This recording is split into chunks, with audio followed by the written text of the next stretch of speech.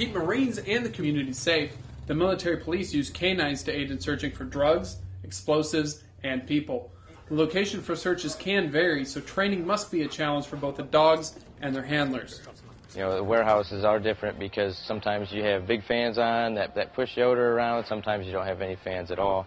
Um, so sometimes the odor is just kind of stagnant in one area as versus being moved around in a warehouse. The MPs also take advantage of the dog's other attributes when necessary.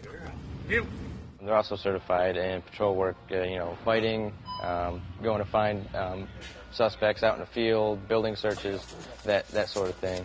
The MCAS Yuma Canine Section has the only bomb sniffing dogs in the local area and respond to all local bomb threats, as well as support missions worldwide. From Marine Corps Air Station Yuma, I'm Lance Corporal Aaron Diamant.